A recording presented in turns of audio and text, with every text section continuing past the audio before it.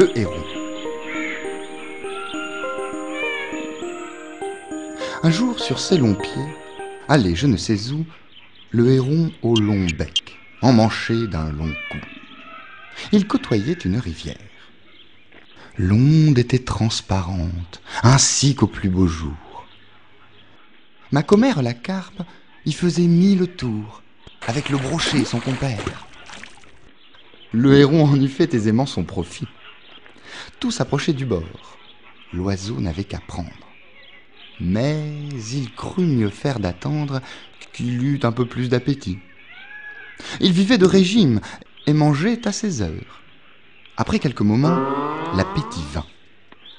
L'oiseau, s'approchant du bord, vit sur l'eau des tanches qui sortaient du fond de ses demeures. Le mets ne lui plaît pas. Il s'attendait à mieux.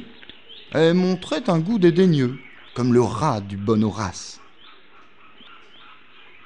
Moi, des tanches, dit-il.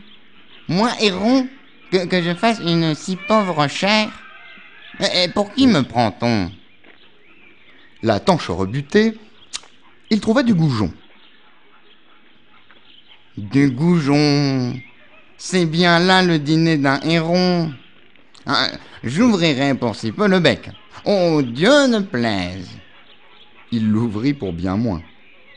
Tout alla de façon qu'il ne vit plus aucun poisson. La faim le prit. Il fut heureux et tout aise de rencontrer un limaçon. Ne soyons pas difficiles. Les plus accommodants, ce sont les plus habiles.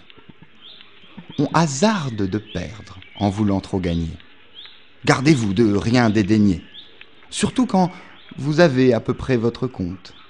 Bien des gens y sont pris. Ce n'est pas au héron que je parle,